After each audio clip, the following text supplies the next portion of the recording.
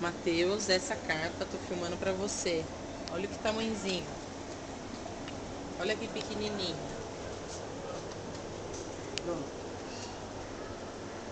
É aqui seriam as carpas. Mas aquela ali é realmente impressionante Não, o tamanho dela.